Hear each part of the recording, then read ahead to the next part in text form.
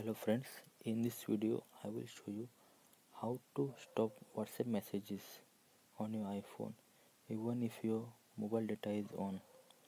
It's like a freezing WhatsApp for a moment. So let's start.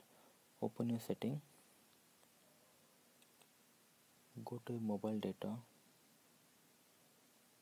and scroll down. So these are all the apps which uses your mobile data in your background so go to whatsapp and deselect the option. So what this will do is uh, it will stop whatsapp from using your mobile data. Okay? So it's anyone so it's like a your, your whatsapp is disconnected from your mobile data.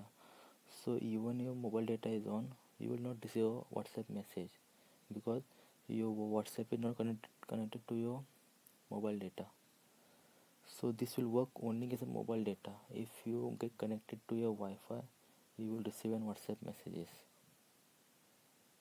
Okay? Thank you friends. If you think the video was good please like and subscribe my channel. There is more to come. Thank you friends. See you next time